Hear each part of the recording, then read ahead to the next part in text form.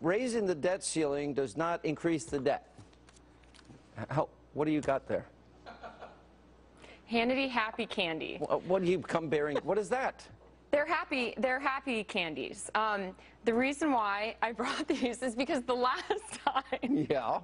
the last, you should try one. They'll What it- make you happy because I feel like conservatives are so angry. You know, I mean, right now I'm getting these crazy tweets. I can already tell. Oh, I'm laughing my head off. Well, now. last time, and, and you know, maybe I think this is a proper opportunity for you to apologize, not to me, but to the viewers, for taking, taking your, your attack personally. Really? And instead, Well, we should have a conversation. Well, he said something about shut my mouth and know my role. So I think that, that maybe you should take these happy candies. Are they loaded with drugs or anything? Well, eh, I am Probably from, from her they are. I am from Colorado, and they do they they are oh, now they're legal. not.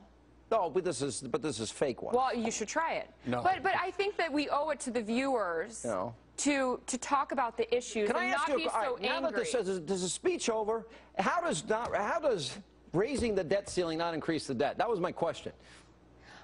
Well, it doesn't. How not? Because we're Wait, I needed a happy candy. No, because we're I didn't even eat one. Go ahead, finish it. because we're paying Uh. we're paying old debt that we owe like people who who have pensions Oh and all God. of these things that are already required this prior debt. Yes, you, you need many. Don't. Does it smell like marijuana? No. Okay, good. Right. Um, but but the problem is is that the conservatives are stuck on. You're you're playing two speeches. Bush increased the debt limit eight times.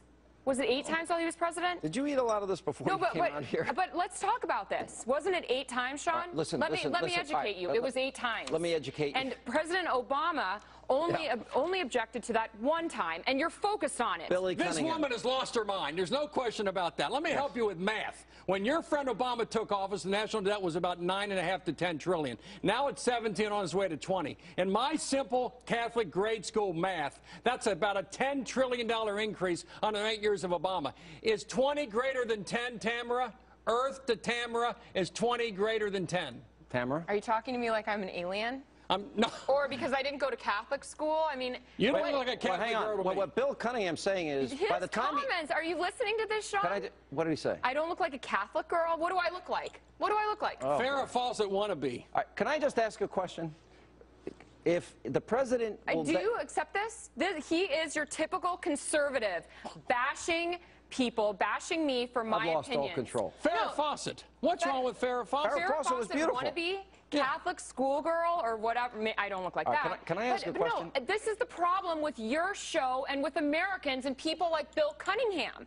It's always an attack, an attack on the president. All right, an can we go back to, can, hang on a sec. Can I go back to the question? He will have doubled the debt of every president before him. By the math is right. 10 trillion to 20 trillion. He will have doubled our debt in eight short years. Every uh, president before him, all their debt accumulated, he will have the exact same debt. No. But okay. The No, truth will it's not set you. true. You're It is you're not enslaved. True. You are and enslaved. What, wait, what are we going to go to then? What What is the conservative Cunningham. What we do is go to a five-year balanced budget. Rand Paul has it right. When I listened to Fox Oh, Business this morning, Fox Business Rand said it right. this morning- Two hundred trillion dollars unfunded liabilities. Your ilk, people Get of your, your ilk. finger out of my face. People of your ilk basically are going to ruin this country. This is a predictive People of my catastrophe. ilk, you your mean ilk. the youth of America? Not the youth, youth, of America liberal who didn't vote Democrats. This is a predictive disaster coming our way, and you're playing games with it. Hannity and I know it's not a game. People like you are helping to destroy this country fiscally. We can't grow we- up. Look, You not- not- I- I- grow up? Grow it's up. Not, it's 90 trillion in unfunded liabilities. Add that to the debt that we have. How do we sustain that? How do we sustain it? We do. We cut spending and we increase taxes because the Bush tax cuts they didn't work. They didn't work. He said he was going to create two and a half million jobs or, or five million. He only created two and a half million.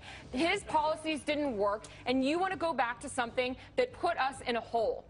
He- It put us in a hole. Lord, you live in some alternative No, I universe. don't. Because guess what? I didn't vote for Obama the second time, but he won again. Why? Why? Because, the too many people get conservatives- government No. benefits at someone else's right. cost. No, because the conservatives 51%. are terrible. No, they're not. You, have no platform at all. All right, I you have no go. way to speak to the youth, and all you do are call names. That's it. When we come You're back, gonna lose next year. Hannity happy candy. I'm going to guzzle this.